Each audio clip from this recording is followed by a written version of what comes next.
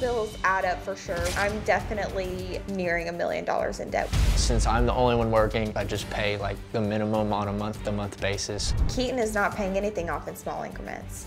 I don't know what he's thinking, but there's been no payments made towards the hospital. I've paid for hospital bills, electric bills, rent, really whatever she needs. I've paid close to $20,000 for Caitlin. At this point, I pay more of the bills at her house than Keaton does. This is a weird dynamic here. It is. Does this seem weird to you? It's not your normal, for sure. Yeah. What do you think, Keaton? Yeah, it's it's weird. Do you want your marriage to work? Of course, yeah. Do, do you want your marriage to work? 110%. What you're experiencing is fixable. It really is. I feel like I'm not fixable. I, I know you do, but it hasn't been that long since you were really different, right? so you, the best predictor of future behavior is relevant past behavior. And you got a long history of being really different and a short history of being this way. So you've got a much longer history of being functional and fun and energetic and having a full life.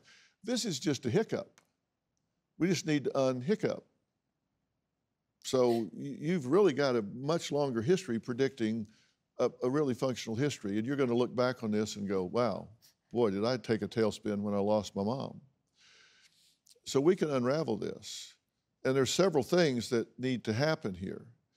And one is you need to start treating the right thing. And your mother would not want you to be doing this. And you two have a relationship, and you are an interloper, well intended, but you need to go home. And you two, you two need to work this out between you. And, and when I say you're well intended, I mean that sincerely. I, I don't think you came into this to mess things up. And, and I have so much respect for firefighters and EMTs. And thank you for your service, by the way. What you do, people that run into burning buildings, I, have never quite understood. Uh, but I'm certainly glad you do.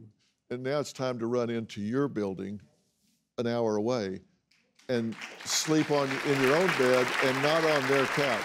You need to take yourself out of this situation, and you two need to renew your relationship. And POTS is not a terminal disease. It's very manageable.